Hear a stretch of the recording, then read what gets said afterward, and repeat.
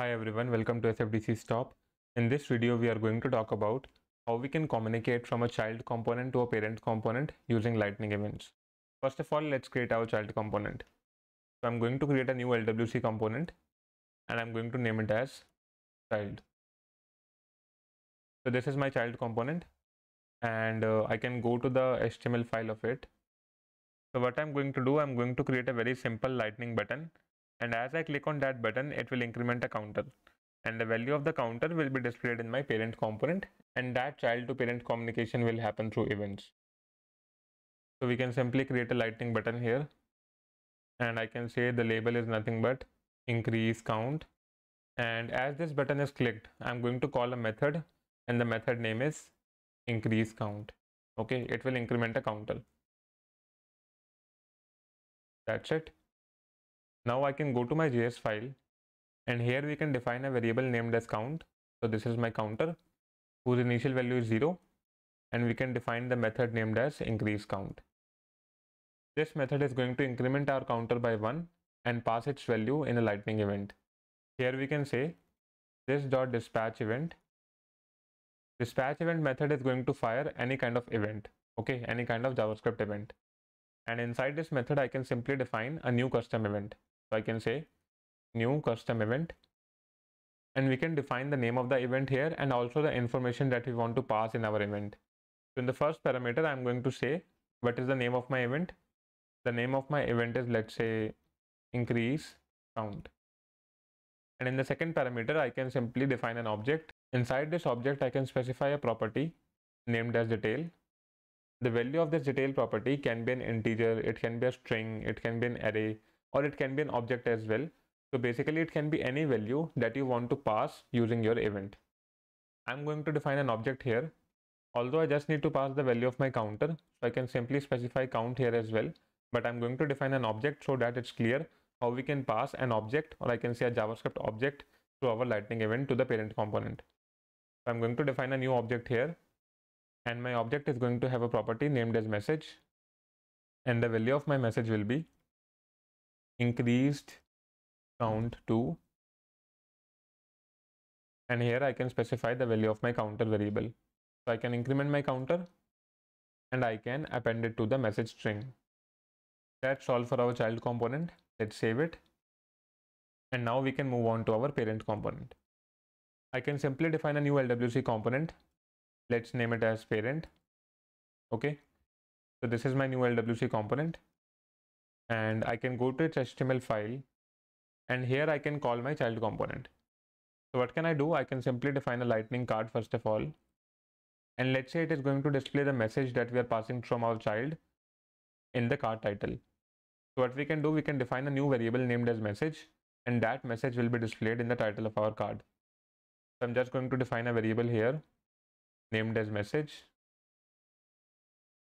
and this message will be used in my lightning card title. So I can say title is nothing but the value of my message variable.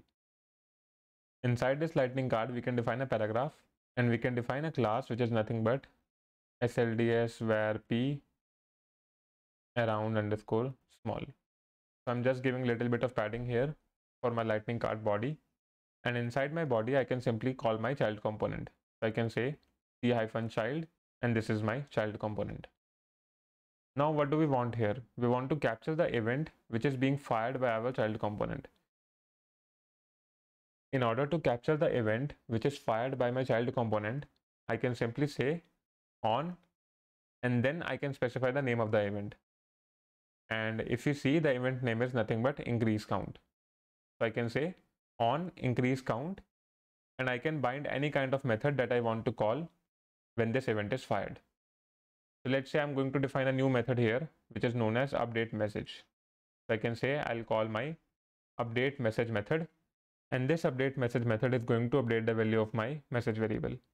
So that's all for our HTML. Let's save it and let's move on to the JS file. In the JS, first of all, I can define a default value for my message.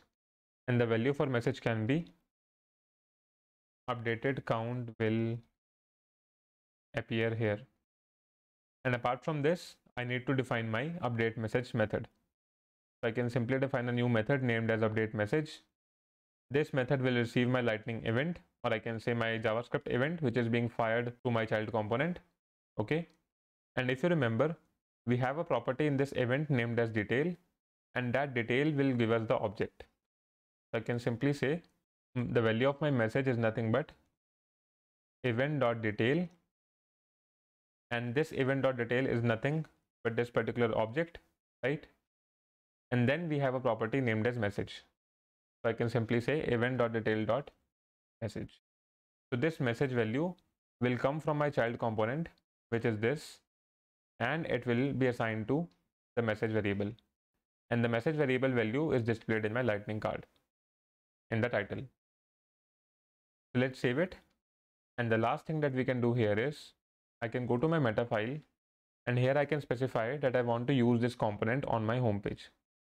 So I can first of all expose my parent component and I can specify a target.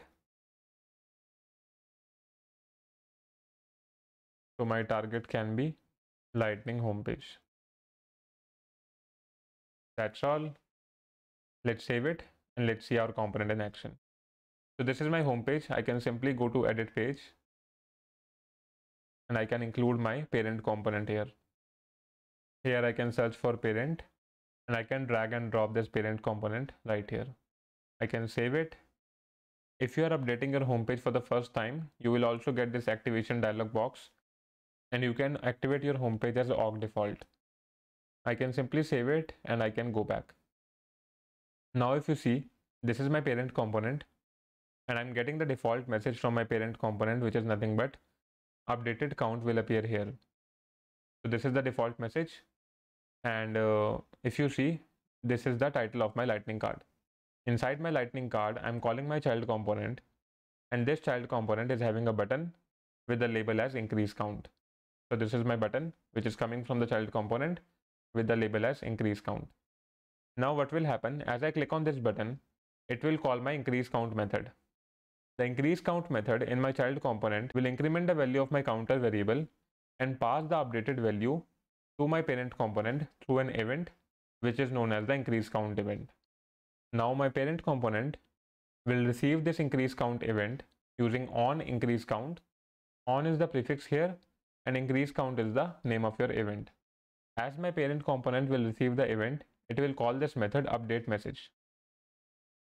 The update message method will receive the event it will get the value of message from the event detail. So if you remember, we had the event detail here and then the message. And it is going to assign the message to my message property. And this message property will be updated right here and it will be reflected in the title of my lightning card. So initially the value of the counter was 0 and as I click on this button it will be incremented to 1 and then it will be passed to my parent. And as I click the button again and again it will be incremented again and again and the parent will display the latest count. Let's click this button. Now you can see my messages increase count to 1. Increase count to 1. I can click this again and again to increase the counter. Let's click it. Increase count to 2, 3, 4, 5, 6, 7, 8, 9, 10. So this is how you can communicate from a child component to a parent component using lightning events. That's all for this tutorial. I hope you liked it. Let me know your feedback in the comments down below and I'll see you next time.